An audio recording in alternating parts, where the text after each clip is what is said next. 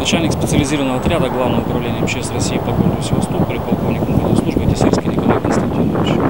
Мероприятия были проведены по уничтожению а, обнаруженных авиационных бомб, как отечественного, так и немецкого производства. А, Работы проводились а, в рамках взаимодействия с инженерными подразделениями Черноморского флота.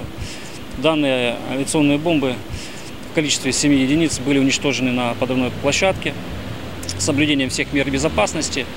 А, При уничтожении ущерба а, окружающей среде, а также объектам инфраструктуры не нанесено.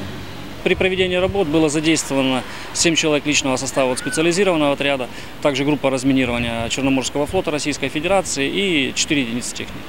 С начала 2020 года специализированным отрядом Главного управления МЧС России по городу Севастополю обезврежено 754 взрывоопасных предмета.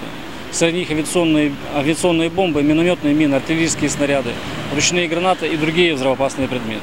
Всего в период с 2014 года пиротехническими подразделениями отряда обнаружено и уничтожено более 20 тысяч взрывоопасных предметов времен Великой Отечественной войны.